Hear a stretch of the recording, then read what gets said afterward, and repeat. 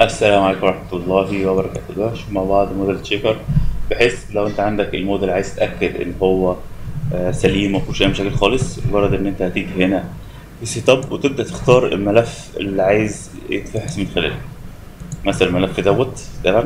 طبعا في أكتر من ملف في ملف مثلا بيبقى خاص بالكود الأمريكي ملف خاص بالكود البريطاني وهكذا حسب الحاجة اللي انت عايز تفحصها. طيب فأنت اخترت اهوت هيبدا بقى يجيب لك المعلومات إيه الحاجات اللي هتتفحص؟ الاسد هتتفحص ال BIM ال BIM execution plan وهكذا. بس كل الحاجات دي هتتفحص.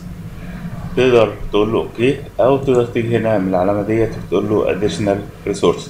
يعني إيه additional resource يعني عايز ملف آخر هبحث من خلاله. additional resource. هيبدا يفتح لك الموقع على الإنترنت اللي إحنا سطبنا منه. بيقول لك خلي بالك انت ممكن تحمله ال 20 19 و 18 17 وفي فيديوهات تشرح لك الموضوع دوت بس طبعا الفيديوهات اللي على BIM Arabia آه، أفضل. وهنا ال model health dashboard. تبدا تحمل مثال ليه وهتلاقي شرح ليها بالتفصيل على BIM Arabia برضو. وهتلاقي شرح للبرنامج اللي هو Power BI بالتفصيل.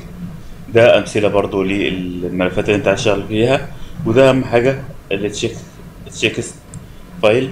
هتلاقي حاجة مثلا من جامعة أو إتش آي أو حاجات خاصة بجامعة ميش- ميشيغان وفي USA وفي أو إس اي سي إي وهكذا. في أكتر من مكان عامل check تقدر تفحص من خلاله الموديل بتاعك ويطلع لك التقارير إيه ال- المظبوط.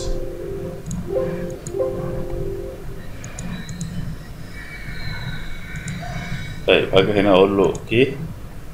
وتقول له cancel إحنا لسه ما عندناش حاجة. وبعد كده تقول له run فيبدأ يعمل لك المقارنة. وبعد كده في أي لحظة تقول له view report يبدأ يجيب لك المشاكل